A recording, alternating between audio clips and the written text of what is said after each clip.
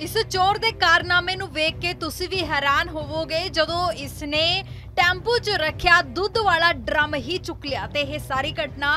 ਬਾਜ਼ਾਰ 'ਚ ਲੱਗੇ ਸੀਸੀਟੀਵੀ ਕੈਮਰੇ ਦੇ ਵਿੱਚ ਕੈਦ ਹੋ ਗਈ। ਤਸਵੀਰਾਂ 'ਚ ਵੇਖਿਆ ਜਾ ਸਕਦਾ ਹੈ ਕਿ ਪਹਿਲਾਂ ਇਹ ਚੋਰ ਟੈਂਪੂ ਦੇ ਆਲੇ ਦੁਆਲੇ ਘੁੰਮਦਾ ਨਜ਼ਰ ਆਉਂਦਾ ਹੈ ਤੇ ਇਸ ਨੇ ਆਪਣਾ ਮੂੰਹ ਵੀ ਨਹੀਂ ਬੰਨਿਆ ਹੁੰਦਾ ਅਤੇ ਇਹ ਟੈਂਪੂ ਇੱਕ ਦੁਕਾਨ ਦੇ ਕੋਲ ਖੜਾ ਹੁੰਦਾ ਹੈ ਤੇ ਜਿਵੇਂ ਹੀ ਇਸ ਚੋਰ ਨੂੰ ਮੌਕਾ ਮਿਲਦਾ ਤਾਂ ਇਹ ਆਪਣੀ ਬਾਈਕ ਤੇ ਆਉਂਦਾ ਹੈ, ਮੂੰਹ ਢੱਕ ਕੇ ਆਉਂਦਾ ਹੈ ਤੇ ਅਤੇ ਟੈਂਪੂ ਦੇ ਵਿੱਚ ਰੱਖਿਆ ਦੁੱਧ ਵਾਲਾ ਡਰਮ ਚੁੱਕ ਕੇ ਫਰਾਰ ਹੋ ਜਾਂਦਾ ਹੈ। ਅਤੇ ਜਦੋਂ ਇਸ ਵੱਲੋਂ ਇਸ ਚੋਰੀ ਦੀ ਘਟਨਾ ਨੂੰ ਅੰਜਾਮ ਦਿੱਤਾ ਜਾਂਦਾ ਹੈ ਤਾਂ ਇਸ ਚੋਰ ਨੇ ਆਪਣਾ ਮੂੰਹ ਵੀ ਢੱਕ ਲਿਆ। ਤਸਵੀਰਾਂ 'ਚ ਵੇਖਿਆ ਜਾ ਸਕਦਾ ਹੈ ਕਿ ਚੋਰ ਨੇ ਪਹਿਲਾਂ ਆਪਣਾ ਚਿਹਰਾ ਵੀ ਨਹੀਂ ਢੱਕਿਆ ਹੁੰਦਾ ਤੇ ਜਦੋਂ ਚੋਰੀ ਦੀ ਵਾਰਦਾਤ ਨੂੰ ਅੰਜਾਮ ਦੇਣਾ ਹੁੰਦਾ ਤਾਂ ਉਹ ਆਪਣਾ ਮੂੰਹ ਵੀ ਢੱਕ ਲੈਂਦਾ ਇਹ ਚੋਰ ਨਵਾਂ ਸ਼ਹਿਰ ਦੇ ਬੰਗਾ 'ਚ ਵੇਖਿਆ ਜਾ ਸਕਦਾ ਹੈ, ਜਿਸ ਵੱਲੋਂ ਚੋਰੀ ਦੀਆਂ ਘਟਨਾਵਾਂ ਨੂੰ ਅੰਜਾਮ ਦਿੱਤਾ ਜਾ ਰਿਹਾ ਹੈ। ਜੇ ਤੁਹਾਡੇ ਵੀ ਆਲੇ ਦੁਆਲੇ ਇਹ ਚੋਰ ਘੁੰਮਦਾ ਨਜ਼ਰ ਆਵੇ, ਤਾਂ ਇਸ ਦੀ ਸੂਚਨਾ ਤੁਸੀਂ ਤੁਰੰਤ ਪੁਲਿਸ ਨੂੰ ਦੇ ਸਕਦੇ ਹੋ। ਦੱਸਣਾ ਬੰਦ ਹੈ ਕਿ ਜਿਸ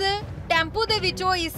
ਚੋਰ ਨੇ ਦੁੱਧ ਵਾਲਾ ਡਰਮ ਚੁੱਕਿਆ ਉਹ ਖਾਲੀ ਹੁੰਦਾ ਤਾਂ ਇਹ ਸਿਲਵਰ ਦੇ ਡਰਮ ਨੂੰ ਚੁੱਕ ਕੇ ਫਰਾਰ ਹੋ ਜਾਂਦਾ ਹੈ। ਤਸਵੀਰਾਂ ਉੱਥੇ ਲੱਗੇ ਸੀਸੀਟੀਵੀ ਕੈਮਰੇ 'ਚ ਕੈਦ ਹੋ ਜਾਂਦੀਆਂ ਨੇ।